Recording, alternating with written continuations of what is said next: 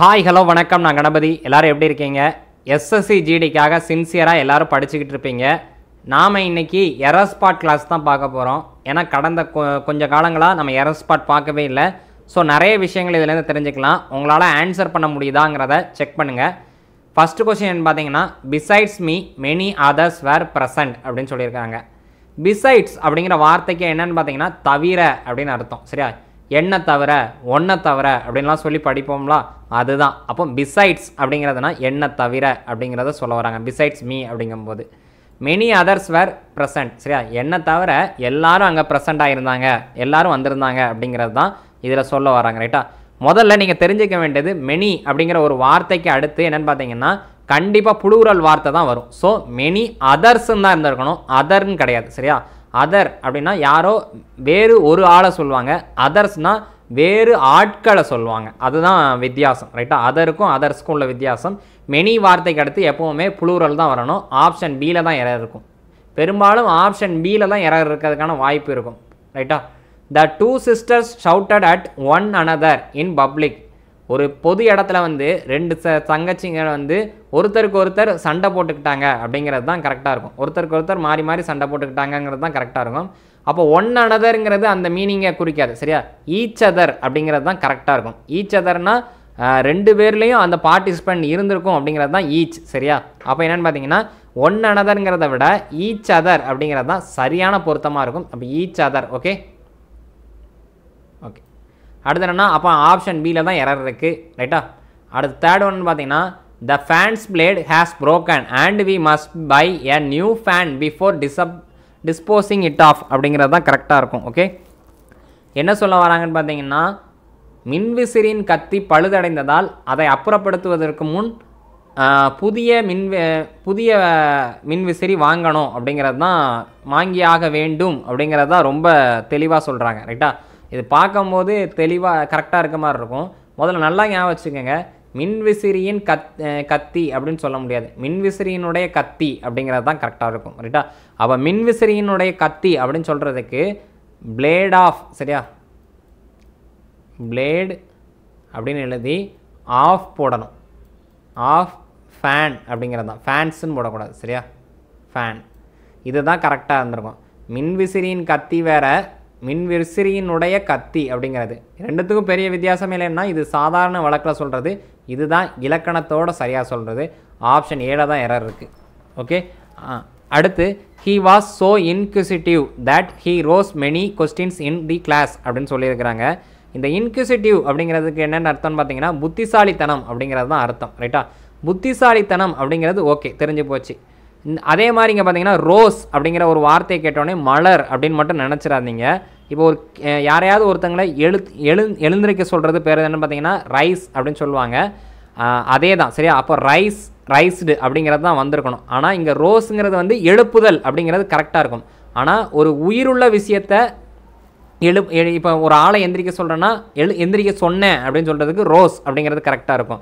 ஆனால் ஒரு கேள்வியை எழுப்பினேன் அப்படின்னு சொல்கிறதுக்கு அது உயிரற்ற விஷயம் தானே. அப்போ அதுக்கு ரைஸ்டு அப்படிங்கிறது தான் கரெக்டாக இருக்கும். ஸோ ரைஸ்டு அப்படிங்கிறத மாற்றிக்கணும் இந்த இடத்துல தான் எரர் இருக்குது அப்படிங்கிறத தெரிஞ்சுக்கோங்க சரியா? அப்போ ஆப்ஷன் பியில் தான் எனக்கு எரர் இருக்குது ஓகே அடுத்து என்னென்னு பார்த்தீங்கன்னா John I and Harry have finished our studies அப்படின்னு சொல்லியிருக்காங்க. இங்கிலீஷில் ஒரு ரூல் இருக்குது டூ த்ரீ ஒன் அப்படிங்கிற ஒரு ரூல் இருக்குது second person third person first person சரியா? ஃபஸ்ட்டு பர்சன்னா யார்? அப்படின்னு பார்த்தீங்கன்னா ஐயும் வியும் தான் ஃபஸ்ட்டு பர்சன் அப்போ ஒரு பேர்களை சொல்லி முடித்ததுக்கப்புறம் தான் ஐயும் வியும் பயன்படுத்தணும். ஆனால் இங்கே என்னன்னு பார்த்தீங்கன்னா ஐயை ரெண்டாவதே பயன்படுத்திட்டு அதுக்கப்புறம் தான் பெயரை யூஸ் பண்ணியிருக்காங்க. அப்போ ஜான் ஹரி அண்ட் ஐ அப்படிங்கிறது தான் சரியாக இருக்கும். சரியா? அப்போ இந்த இடத்துல தான் எனக்கு மாற்றம் இருக்குது அப்போ நம்ம இப்போ பார்த்த வரைக்கும் பெரும்பாலும் பி பார்ட்லேயோ இல்லை ஏ பார்ட்லேயோ தான் எரர் மேக்ஸிமம் இருக்குது. சரியா? அப்போ ஏ பார்ட்டில் தான் எரர் இருக்குது அப்போ ஜான் ஹரி அண்ட் ஐ அப்படிங்கிறது தான் கரெக்டாக இருந்திருக்கும். அடுத்து ஆறாவது என்னன்னு பார்த்தீங்கன்னா being a rainy day I had to cancel all my appointments அப்படின்னு சொல்லியிருக்கிறாங்க. பீயிங் ஏ ரெய்னி டே அப்படிங்கிற பொறுத்த வரைக்கும் சரியாக இருக்கிற மாதிரி தோணலாம். ஆனால் என்னென்னு பார்த்தீங்கன்னா என்றைக்குமே பீயிங் அப்படிங்கிற ஒரு வார்த்தை வந்துருச்சுன்னா 90% பர்சன்டேஜ் அதுக்கு முன்னாடி வேறு ஏதோ ஒரு வார்த்தை இருந்திருக்கு. அது விட்டுட்டு எழுதியிருக்காங்க அப்படின்னு தான் அர்த்தம். அப்போ it was a it was being a rainy day அப்படிங்கிறது தான் அப்போ இந்த வார்த்தைக்கு முன்னாடி இட் வாஸ் அப்படிங்கிறது தான் கரெக்டாக இருந்திருக்கும் okay it was being a rainy day அது ஒரு மழைக்காலமாக இருந்ததுனால நான் என்னுடைய அப்பாயின்மெண்ட்ஸ் எல்லாத்தையும் கேன்சல் பண்ணிட்டேன் அப்படிங்கிறது தான் ஸோ ஆப்ஷன் ஏல தான் எரர் இருக்குது அடுத்து being implicated in a murder case he was conclusively suspected for all other all the unsolved murder cases அப்படிங்கிறதான் சொல்கிறாங்க என்ன சொல்ல வராங்க அப்படின்னு பார்த்தீங்கன்னா இங்கே பீயிங்கு முன்னாடி ஏதாவது வார்த்தை சேர்க்கணுங்கிறது எல்லாருக்கும் போ தோணும் ரைட்டா ஆனால் இங்கே என்னென்னு பார்த்தீங்கன்னா இந்த ரெண்டு வார்த்தையை பார்த்தீங்கன்னா புரிஞ்சுக்கிட்டிங்கன்னா கரெக்டாக தோணிருக்கும். என்னென்னு பார்த்தீங்கன்னா ஒரே ஒரு கொலை வழக்கில் வந்து அவர் சம்மந்தப்பட்ட காரணத்தினால இன்னும் தீர்க்க முடியாத க வழக்குகள்லாம் இருக்குல்ல. அதுலேயும் என்னென்னு பார்த்தீங்கன்னா உறுதி அவர் தான் பண்ணியிருப்பார்னு சொல்லி உறுதியாக சந்தேகிக்கப்பட்டார் அப்படிங்கிறத சொல்லியிருக்காங்க ரைட்டா அப்போ என்னென்னா இது கேட்குறதுக்கு சரியாக இருக்கும். நல்லா கேட்டுங்க. சந்தேகம்னு ஒன்று வந்துருச்சுன்னா உறுதிங்கிற ஒரு வார்த்தை வராது. இந்த ரெண்டும் எதிர்ச்சொல். இந்த ரெண்டுத்தையும் ஒரே இடத்துல நம்ம பயன்படுத்த முடியாது. அப்போ உறுதி வேறு சந்தேகம் வேறு. கன்க்ளூஸ்லினா உறுதி ரைட்டா? அப்போ அதை எடுத்துடணும் ரைட்டா? ஒரு ஒரு கொலை வழக்கில் சம்மந்தப்பட்டிருக்கிறதுனால எல்லா கொலை வழக்கும் அவர் தான் இருப்பார்னு சந்தேகப்பட்டிருக்க முடியும் ஓகே? அப்போ என்னென்னா சஸ்பெக்டட் அப்படிங்கிறது மட்டும்தான் வச்சுருக்கணும். கன்க்ளூசிவ்லியே தூக்கி இருக்கணும் ஓகே? ஆப்ஷன் பியில் தான் எரர் இருக்குது அடுத்து he took his younger sister with himself அப்படிங்கிறத சொல்லியிருக்காங்க. அவர் அவருடன் தன் த சகோதரியை அழைத்து சென்றார் அப்படிங்கிறதான். அவர் அவருடன் சரி அவர் அவரின் தங்கையை அவருடன் அழைத்து சென்றார் அப்படின்னு இருக்கும் ஹிம்செல் அப்படின்னா அவருக்காக அப்படின்னு அர்த்தமாயிரும். ஸோ அவருடன் தானே. அப்போ என்ன ஆயிருக்குன்னு பார்த்தீங்கன்னா he took his younger sister with him அப்படிங்கிறது தான் அவருடன் அவருடைய தங்கச்சி வித்து வித்துக்கு அப்புறம் ஹிம்மு தான் வருமே தவிர்த்து ஹிம்செல்ஃப்ங்கிற வார்த்தையை பயன்படுத்த முடியாது சரியா? அவர் அவரின் தங்கையை அவருடன் அழைத்து சென்றார் அப்படிங்கிறது தான் சொல்ல வராங்க ஓகே அப்போ என்னென்னு பார்த்தீங்கன்னா ஹிம்மு தான் வரும் ஹிம்செல்ஃப்னு வரும். அவருக்காக அழைத்து சென்றார்னு வராது சரியா? ரைட் அப்போ என்னென்னு பார்த்தீங்கன்னா ஆப்ஷன் சியில் தான் எரர் இருந்திருக்கு.